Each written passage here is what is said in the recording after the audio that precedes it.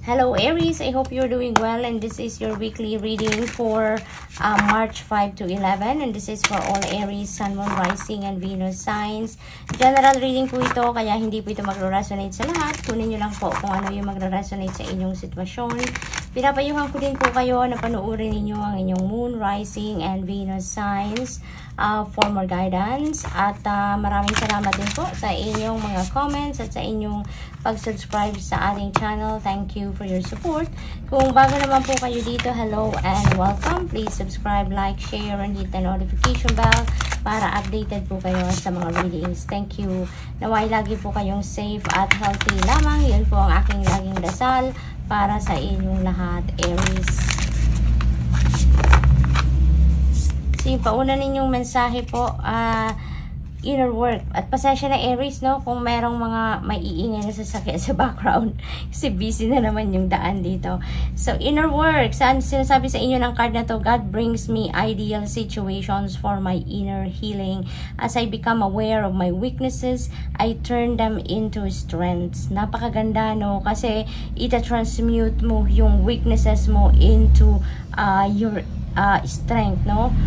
Sinasabi pa dito na, I direct my thoughts toward the light and see the positive side of every stage of life. Yun na nga, uh, Aries, I feel na yung iba sa inyo dito, yun talaga ang gagawin, no? Yun ang inyong realization na kung negative lang ang ang papanigan ninyo or negative yung i-entertain ninyo uh, sa inyong isipan, no? sa inyong uh, buhay, uh, walang magandang mangyayari. Kaya I really feel na ang iba sa inyo talaga is going to realize that you're going to uh, direct your thoughts towards the light. At doon kayo sa positive lang. Doon kayo sa positivity lang, no? Dahil doon ninyo nakikitaan ng liwanag ang iyong mga sitwasyon. So, darkness turns into courage. Thus, I get is stronger. Yun. So, you really feel talaga dito for most of you, Aries, that you're going to have that realization. Ang dami ninyong mga um, madidiscover about yourself when you do your inner work, when when you go deep within, at madami kayong madidiscover about yourself na kaya ninyong gawin. Kaya ninyong i-transmute yung mga negativity into positive uh, ones. Kaya ninyong i-turn yung mga darkness sa buhay ninyo at bigyan ninyo or uh, you're going to shine your own light into the darkness na nasa buhay mo. And uh, with that, no, madidiscover ninyo sa inyong sarili na you are stronger than you know, ba diba? So, napakagandang energy, napakagandang mensahe. So, tignan natin kung ano pa yung mensahe for you, Aries the divine fruit. As I work to improve and free myself, I strengthen my foundation. My intellect is light, my heart is warmth, and my soul is strength. I am nurtured by the divine sun. The fruit I bear reflects my inner light. Ayan. So, I really feel talaga na yung inner work na to na inyong gagawin for most of you, you're going to uh, go deep within talaga around this time ang dami mong makikita, ang dami mong madidiscover about yourself. You are going to see na mas malakas ka pala, no? Mas malakas ka sa, sa inaakala mo. Meron ka palang inner strength na madidiscover with your uh, current situation na akala mo wala kang lakas ng loob, wala kang tibay ng dibdib. You will come to realize now na hindi ka pala pinapabayaan ng Panginoon talaga, no? So your next message is attention. I am attentive to all that manifests within me. When negativity rises within me, I transform it into light, love, and hope. My love for others is unconditional. I forgive. My desire to improve is constant. I am firm, brave, and hardworking. Yun. So, uh, from here on, I really feel no, na pagkagaling mo dito sa pag sa inner work na gagawin mo, no, I really feel that you are going to pay attention attention na sa lahat ng mga nangyayari sa buhay mo. Kasi I feel dito na recently or yung mga nakaraang araw, weeks, panahon, years, no, even years, eh, parang hindi mo napapansin yung lahat-lahat na kung ano ang nagaganap sa sarili mo inside and out. Alam mo yun? Yung maaaring ang mga sa inyo fo super focused on the past and on the future but not in the present. So, may mga ganong sitwasyon. But from here on, no, because sa gagawin mong inner work, I really feel that you're going to be attentive kung ano na yung mga nag-unfold sa buhay mo inside and out. So, I really feel na maraming pagbabago uh, on a spiritual level. Dito ang mangyayari sa buhay ninyo, Aries. Ano? Kasi, uh, mag, manggagaling lang ang lahat ng yan from, your, from doing the inner work. So, that is really beautiful. So, tignan natin kung ano pa, magta-transform. Magta-transform kayo dito from, from deep within you. Doon magsisimula ang transformation. So, your next message dito is Page of Pentacles. So, ang iba naman sa inyo dito, Aries, no, there is going to be good news coming in sa buhay ninyo. Good news uh, linked to your finances, no, to your career, uh, to your business, kung meron kayong business. So, there is going to be some news na magpapasaya sa inyo dito dahil alam mo na, maaring ito yung iyong mga pinakahihintay, no? Maaring ito yung iyong mga pinakahihintay na mga balita or information, uh, updates, no? About your money, career, and finances. So, we also have number three. We have, uh, uh, heartbreak, heartache, yun ang mga ganap dito ng iba sa inyo. Uh, this is uh, matagal na, no? Matagal na tong nangyari, Aries, na sama ng loob, frustration, dissatisfaction mo, maaring sa sarili mo to, or maaring sa sitwasyon, or maaring someone broke your heart, no?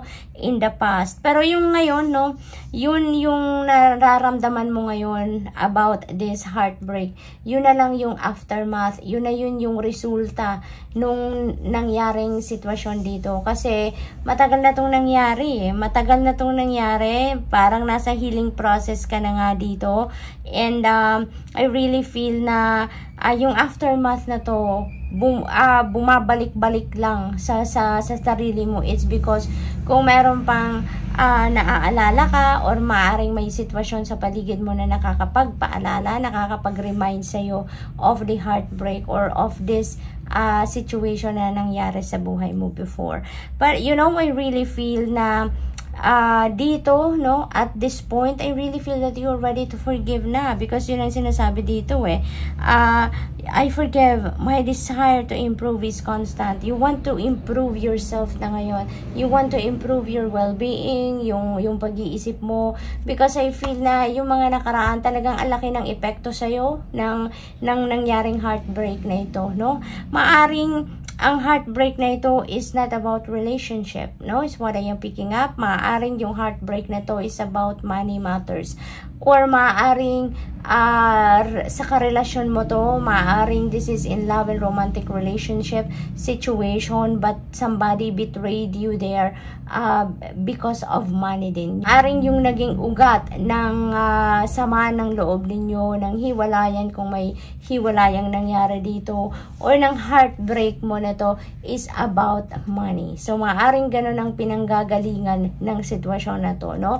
Kung sa uh, relasyon mo ito uh, nangyari, no? But you are going to forgive because you have unconditional love, Aries, no? Maybe around this time, you have accepted or you are starting to accept that what happened, happened already for some reason. Maaring na-accept mo na yan unti-unti. Kaya, you are ready to forgive. Okay? So, yung final message ninyo, oh yeah, okay, so, uh, we have the Five of Pentacles. So, I really feel dito na kung ano man talaga yung, yung heartbreak na to, I really feel that, uh, that is about money. Okay, Aries, yun ang aking napipick up, yun ang malinaw na nakikita ko dito sa, sa cards na lumalabas sa'yo. I really feel na yung kalungkutan mo dito, yung heartbreak na ito is about money. Maaring uh, dahil ito, maaring sa relasyon ito, no, within a relationship, may nakapag-betray sa'yo na tao dito involving money. Or meron din dito sa inyo na yung heartbreak na ito uh, is about job loss. Maaring uh, talagang masamang masama ang inyong kalooban because maaring hindi mo to inaasahan na maaring merong restructuring na nangyari sa kumpanyang pinagtatrabahuan mo or maaring alam mo yun nag uh, nagbabawas ng ng employees. Talaga yung ano yung kumpanyang pinagtatrabahuan mo. And you've never expected na makakasama ka doon sa mga mawawalan ng trabaho. So maaring ganun na naging sitwasyon sa iyo kaya talagang to your core yung yung epekto ng ng kasamaan ng loob na to yung frustration na to no sa iyong sitwasyon. But uh, Aries just remember that um your situation is just very temporary. You are going to definitely move forward with your life because I really feel that there is going to be some breakthrough dito coming in. No? Alalahanin nyo lang na pag merong pintong nagsasara, it's because you need to close that door. The Divine Universe needs to close that door because something new is opening up for you. And that is what I am picking up here no sa sitwasyon na to. I really feel that itong dalawang ito magkasama uh, that already happened in the past. Maaring recently lang to or maaring matagal na to but uh, you are moving forward. No, Mo you are moving forward from here on because with the coming in ng Page of Pentacles dito, there is opportunity coming in. There, this is a financial opportunity na mag, magbubukas ng pinto para sa iyo ngayon. So, kung meron mang nawala dito, na frustrate ka man dito dahil maaring naloko ka about uh, kaperahan or maaring yung nawalan ka ng trabaho dito or kung ano mang sitwasyon no uh, about kaperahan don't worry Aries kasi yung balitang ito na parating sa iyo this is a financial opportunity maaring ito na ito na yung bagong pintong magbubukas para sa iyo okay? So Aries that's all I have for you for the week. I hope nakatulong ang reading na ito in some way. Thank you for watching. Love and light. Namaste